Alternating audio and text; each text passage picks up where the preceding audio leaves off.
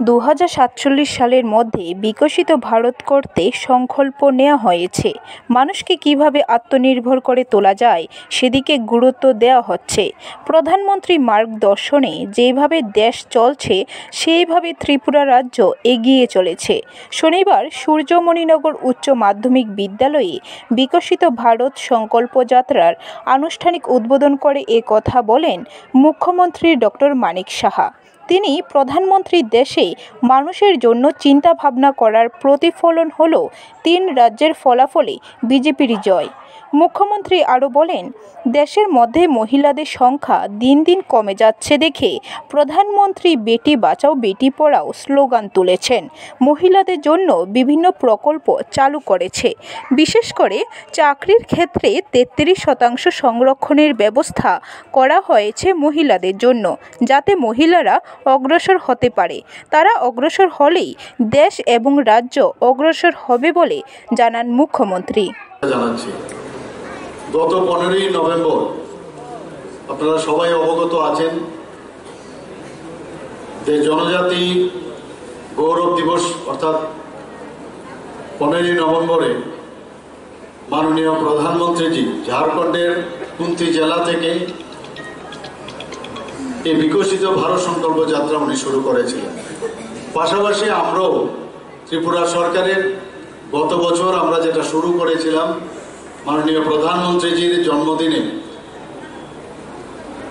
থেকে শুরু করে সতেরোই সেপ্টেম্বর থেকে শুরু করেছিলাম এবং আরেক প্রধানমন্ত্রীর জন্মদিন পঁচিশে ডিসেম্বর, সেটা আমরা শেষ করেছিলাম। এবছর আবার আমরা সেটা শুরু করি। এই পনেরো নভেম্বর থেকে। এবং আপনারা দেখেছেন যে মেইন উদ্দেশ্যটা কি? এই যে মাননীয় প্রধানমন্ত্রী যে যে বারবার বলছেন যে দু হাজার সাতচল্লিশ সনে বিকশিত ভারত ডেভেলপ কান্ট্রি সেটা আমাদের প্রতিষ্ঠিত করতে এখানে আমাদের সেক্রেটারি মহোদয় আপনাদের শপথ পাঠ করিয়েছেন।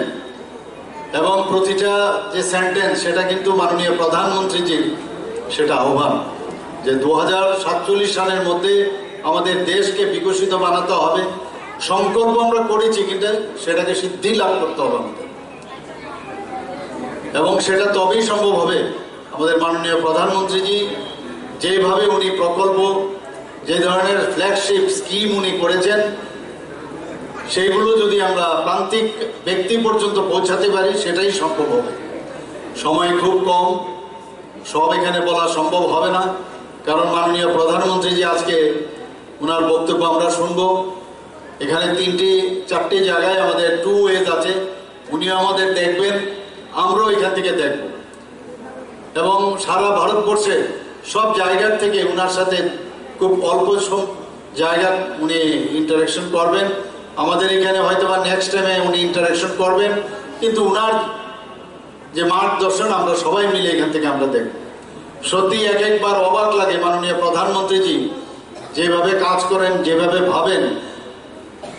মানুষকে নিয়ে চিন্তা ভাবনা করেন, মানুষের আত্মনির্ভর হওয়ার যে চিন্তা ভাবনা সুশাসন শূন্য দশমিক দুই এবং বিকশিত সংকল্প যাত্রার মাধ্যমে মানুষের মধ্যে সঠিকভাবে সুযোগ সুবিধা করছে দিতে চাইছে সরকার।